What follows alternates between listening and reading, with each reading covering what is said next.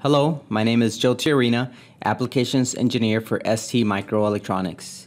In this video, I'm going to demonstrate just how simple it is to get your STM32WB Zigbee device connected to a commercial Zigbee hub like the Amazon Echo Plus, which many people already have in their homes.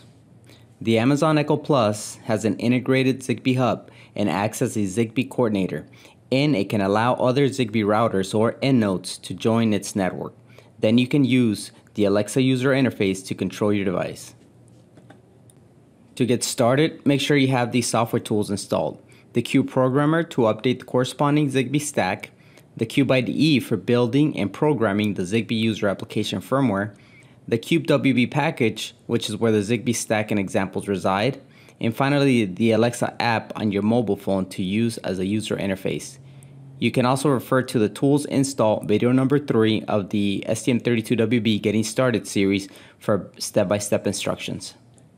You'll also need a Windows PC, a micro B USB cable, a WB Nucleo board, an Amazon Echo Plus, and an iOS or Android mobile phone. Once you have all the software tools and hardware ready, you'll need to start by updating your WB Nucleo board with the latest FUS and Zigbee stack.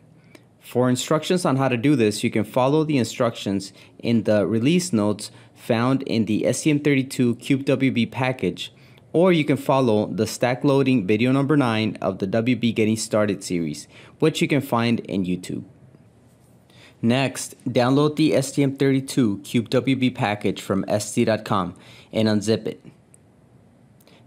Then find the Zigbee on-off server distributed example and open the project by double-clicking on the dot .project file. Give your workspace a name and click Launch. Close the Information Center window to see the project workspace.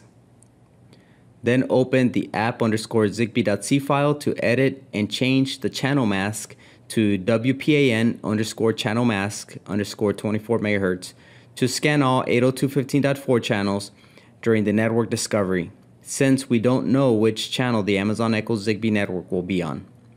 After the edits, save the changes and build the project. Then download and debug to load the application program on the WB Nucleo board which should be connected to your PC with the USB cable. Click switch and finally run the program. Now that we have the WB Nucleo board running the on-off Zigbee application and within range of the Echo Plus, we can now command the Echo to look for new devices and connect. We can do this from the Alexa app installed on the mobile phone.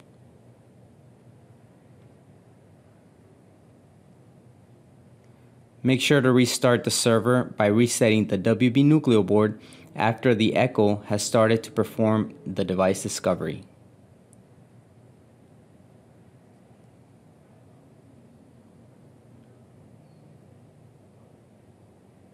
If everything goes well, the WB Nucleo device will be recognized as a switch and we can command to turn the board's red LED 3 on and off from the app user interface.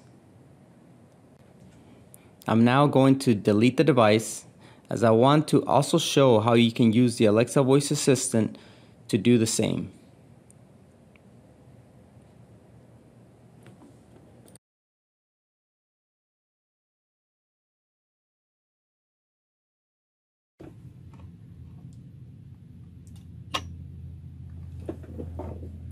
Alexa, discover devices. Starting discovery. This will take a few moments. Power on your new devices now, and if need,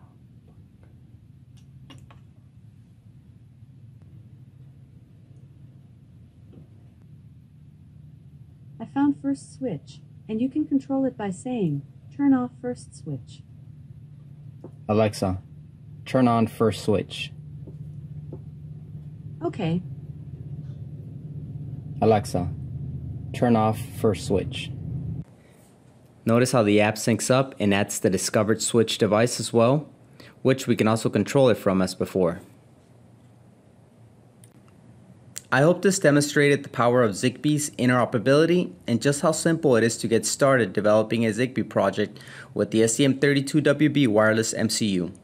Our Zigbee ecosystem includes much more, so if you would like to learn more, please visit st.com or submit any questions through our online support channel or community forums.